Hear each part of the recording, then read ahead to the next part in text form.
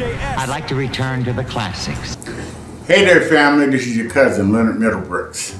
And uh, I just wanted to put out a video to try to explain to you all what's getting ready to happen. What's getting ready to happen is one of the premier events in this country. 50 years of the Middlebrooks family reunion. 50 years. I'm wearing a t-shirt now. This, this one's from Memphis. I, I did not host the reunion, but I was a help to the reunion. So I got to see the ins and outs of how to do a reunion. It's not an easy process, not by any stretch of the imagination. However, the people who hosted are some of the best of the best of our branch of the family. And I just wanted to give you a little insight on how it started in the first place. Family reunion, our version of the family reunion started, believe it or not, in 1972. The first one was held in Champaign, Urbana, Illinois.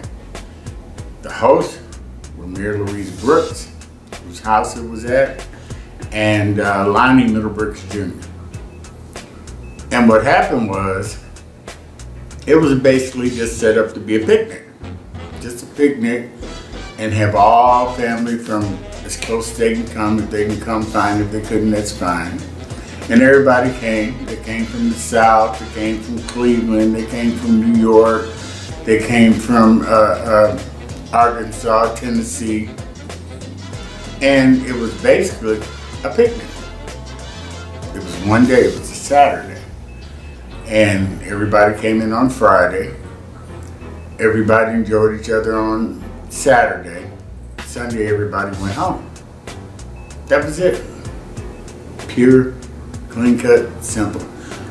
Kids played, girls played uh, uh, dominoes or, or, spades or pinochle or what have you, and everybody went home.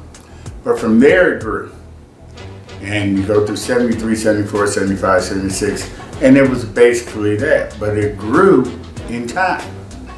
And um, by the 80s, it started getting larger and larger. I think around the 1990s is when it really started to generate into a happening. And you know, you, you're, you're having catered meals, you're having this, that, and the other. But basically everybody cooked for everybody. You know, there's always the famous uh, family fish fry. And, uh, you know, uh, in, I think it was the late 1990s, a couple of us uh, introduced a situation called Cousins Night Out. Where all of our first cousins, all, all of us in our generation would come down and we just party. We just party, dance and party all night long those were some of the, the uh, situations that uh, uh, transpired and kept going over time with the reunion. Um, but to go from 50 years, and we are recognized as one of the top reunions in the United States. And that says a lot. That says a heck of a lot. Uh, the one thing that has always bared on me is that our generation, especially our uncles and our aunts, they try to display, you know, get to know your family.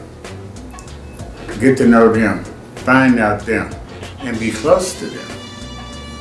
And that's one of the main things that has always transpired about it. Um, for anybody who knows me, I steal liberally. I take from everybody if I like your picture. I'll take from that, you know. Matter of fact, I got something like uh, like this right here. Uh, I got this from Roy Middlebrooks, God bless his soul. This is from the 1993 reunion. And those are things that, you know, should, should, should reverberate with you, you know, to keep the family tree growing. We have branches from Australia, we have branches in Canada, we have branches all across the United States from Fort Worth, Texas, to Florida, to North Carolina, to, to you name it. We're all over. New York. I mean, you know, I can call out every state. There's a Middlebrooks in every state. As um, one of our family members said a couple years ago, there's a Middlebrook under every rock. And it is. As a matter of fact, uh, a few years ago, we got to meet some of our uh, some of our white kinfolk, and we do have some white kinfolk. I mean, that's just it's just obvious. That's the part of the evolution that has happened, you know, from from the beginning of time. Nothing wrong with that.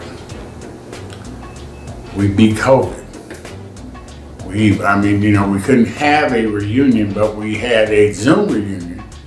So basically, it counts as a reunion. Anything, anything in the norm counts as a reunion. So for us to have 50 years of the Middlebrook family reunion is a blessing that a lot of families would love to have. Our host this year is uh, Stacy Davis, and uh, Stacy uh, decided to take the, the helm and, uh, and roll it. And trust me, if there's anybody on here that thinks that they have any kind of thought pattern on how to family, on how to throw a family reunion, it is not an easy task whatsoever. It's very, very, very difficult, especially when it comes to money. So if you can, if you will, I will post up uh, her uh, Cash App on online, and please send her, uh, you know, send her what you can. Times are tough. Detroit's a pretty expensive city. If you can find something that's, you know, a little bit cheaper, go ahead and do that, you know. But it would be well worth it to come and spend some time, you know, with us for a few days. I'm planning on, being, yeah, I'm planning on being there. I am planning on being there. Um, God willing, you know, I, as a matter of fact, I really wanted to throw a reunion. You know, maybe I'll get it next year. I don't know. But hey, don't hold me to that. I'm not saying that I am or not. But I, I it, it, you have to have it in your heart to do it and you have to throw your whole heart into throwing a reunion. It's not something that, you know, well, okay, I'll throw that next year, and, you know, everything just falls into place. No. It's a very difficult procedure, especially these days.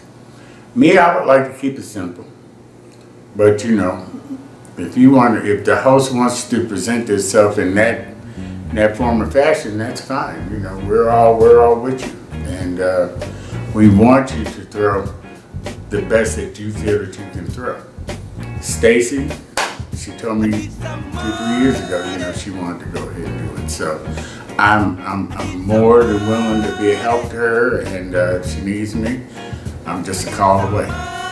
But my point is that, you know, this, this particular one is a very big deal. You only go through 50 one time. And for those who have never hit 50 yet, trust me, I did it 15 years ago. it's kind of a big deal, okay? But uh, put your heart in it, think about it, and uh, whatever you do, you know, I, I wish some of our uh, other families, member, members were here, like my uncles and aunts, and like Aunt Laura and, and, and my father, and Uncle Jono, Uncle Lonnie Sr. and, you know, I, I could go down the line. You know, Aunt Laura, who went to everyone she could. Aunt Titsy for y'all who don't know where she is. Uh, all of them, Uncle Sam. Uncle Sam came to everyone, you know, because those were the building blocks to get where we are right now. They were the they were the shoulders that we stand on to reach where we are right now. Ruth Ellen, you know, I can, man, I can just call her uh, Ruth Ellen, uh, uh, Sally Mae, uh, cousins, you know, that, that, that are, have left us. You know, Rhonda, Rhonda Washington, you know, who just lost a year or two ago. Those are the people that had the want and need to be with us, not because they had to, but because they wanted to. It's right here. It's right here in your heart. And if your heart's not in it, then, you know, you can always find somewhere else to go. But my bottom line is, is that, you know, it, it's, I think it's gonna be something special. I wanna be there and um, I, I, I hope that, you know, uh, through the next months or two, you know, that we, uh, we all plan, we all get together. I wanna dance. Everybody know I love to dance. I wanna dance, I wanna tear it up. And, uh, uh, with people like Candy and with people like Stacy and, and, and with some of the younger ones who really have their heart in it because they've been there. They've been there, you know, so they know how it all trickles down. Hope y'all can be there and uh, I love y'all. You know I do. See you at the reunion in Detroit.